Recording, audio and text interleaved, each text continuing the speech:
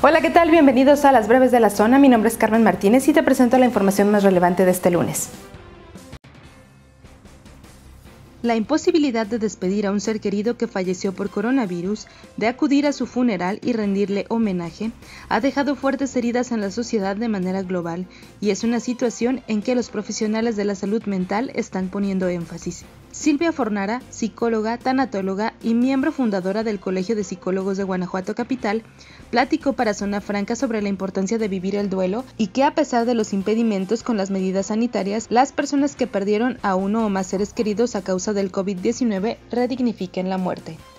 No te pierdas el texto y videos íntegros en zonafranca.mx. La Secretaría de Salud de Guanajuato garantizó que al menos a la semana se realizan hasta 12 revisiones a crematorios durante esta contingencia. Luis Carlos Zúñiga Durán, director general de Protección de Riesgos Sanitarios, informó que en el estado hay 32 crematorios registrados a los que se les hace una revisión. En una reflexión mencionó que el personal verificador, que además ha sufrido los estragos de la contingencia al tener alrededor de 50 contagios, pasó de revisar áreas enfocadas a pacientes vivos a pacientes finados.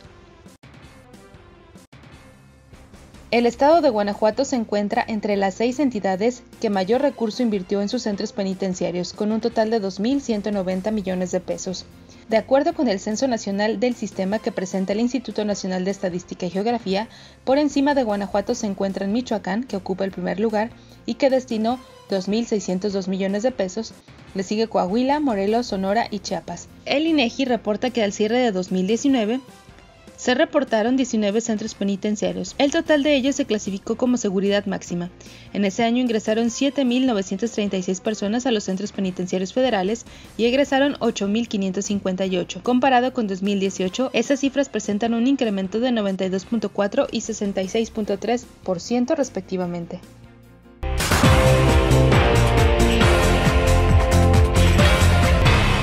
Continúa pendiente de toda nuestra información en zonafranca.mx y no olvides de seguirnos en nuestras redes sociales. Más tarde ve el siguiente bloque informativo que te presenta Bania Jaramillo y te recomendamos seguir las indicaciones para prevenir contagios por coronavirus.